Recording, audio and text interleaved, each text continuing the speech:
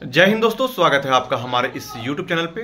तो दोस्तों, आज का वीडियो बहुत ही ज़्यादा इंपॉर्टेंट होने वाला है, क्योंकि आज के वीडियो में हम लोग बात करने वाले हैं B S S C inter level second में आप समान अध्ययन, यानी कि जी के जी एस की तैयारी कैसे करें।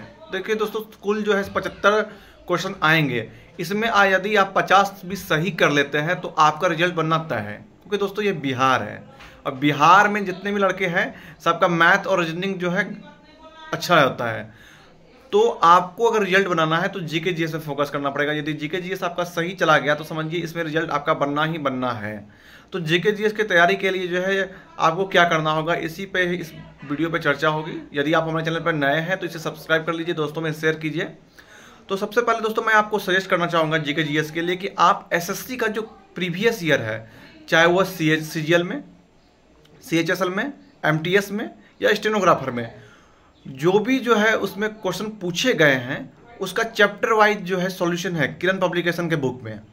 उसको आप लोग ले लीजिए और उससे प्रैक्टिस कीजिए। प्रैक्टिस करने के साथ साथ जो व्याख्या दिया गया है उसको तो रट लीजिए या तो नोट्स बना लीजिए या तो उसे वहीं पर रट लीजिए। नोट्स बनाने का तो, तो दोस्तों आपके पास टाइम नहीं मिलेगा क्योंकि उतना टाइम बचा नहीं। लगभग सौ डेढ़ सौ दिन के आसपास में जो है आपका एग्ज़ाम ले लीजिएगा पीटी का। तो यदि आप डिटेल्स अच्छे से तैयारी करते हो तो मेंस में भी आपको यही काम देगा क्योंकि पीटी और मेंस का लगभग एक ही सिलेबस होता है। तो उसमें जो है आपको चैप्टर वाइज चाहे पॉलिटी हो बायोलॉजी हो फिजिक्स हो, केमिस्ट्री हो, हिस्ट्री हो, उन सभी का आप चैप्टर वाइज से जो है आप तैयारी कर सकते हो, जो कि बहुत ही कारगर सिद्ध होगा। और उसमें जो है, देखिए क्वेश्चन बैंक का जो कोई भी क्वेश्चन होता है तो बहुत ही स्पेशल होता है कॉन्सेप्ट वाइज होता है तो कॉन्सेप्ट क्लियर के लिए उसमें एक व्याख्या भी दी गई है। व्याख्या को भी आपको याद करना है। ऐसा नहीं कि व्याख्या को आपको छोड़ देना तो व्याख्या के जो भी पॉइंट है, उसका डिटेल करके आप जो है, या तो नोट्स बना सकते हो, या तो याद कर सकते हो।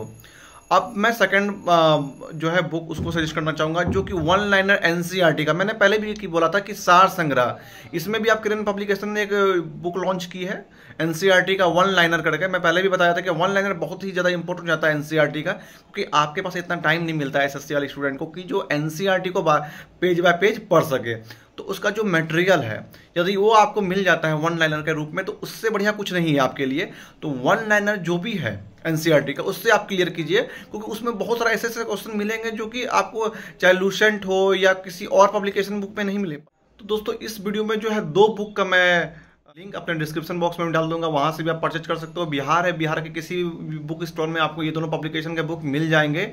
तो बस आपको इस एग्ज़ाम में सफलता पाना है तो इसका कोई, देखिए, एक होता है कि बहुत मेहनत वाला पढ़ाई, एक होता है स्मार्ट पढ़ाई। तो स्मार्टनेस अगर यदि आपको पढ़ाई करनी है तो इन दोनों बुक का आप सहारा ले सकते हैं। बहुत सारे क्वेश्चन ऐसे होंगे जो आपको सेम टू सेम जो है छप जाएँगे उसी क्वेश्चन में।